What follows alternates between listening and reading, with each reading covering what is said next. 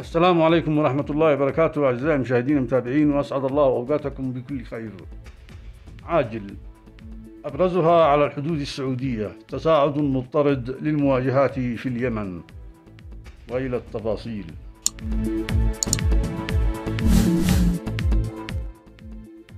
شهدت جبهات القتال في اليمن اليوم الأربعاء تصاعدا مضطردا للمواجهات.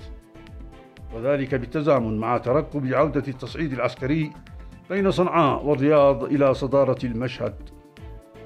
وبرزت جبهة الحدود اليمنية السعودية على رأس الجبهات المشتعلة خلال الساعات الأخيرة.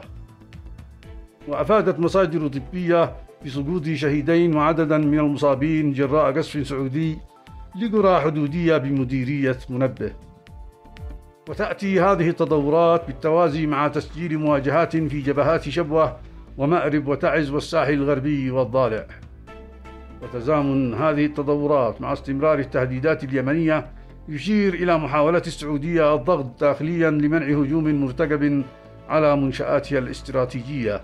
سبق وأن وعدت به صنعاء لمواجهة التصعيد الاقتصادي في عدن. كما تعكس حجم المخاوف السعودية من احتمال قرار اليمن السير بتنفيذ تهديداته ضدها. أشكركم على حسن متابعتي والإصغاء ولا تنسوا الإعجاب والتعليق على الفيديو والاشتراك في القناة وتفعيل جرس التنبيهات.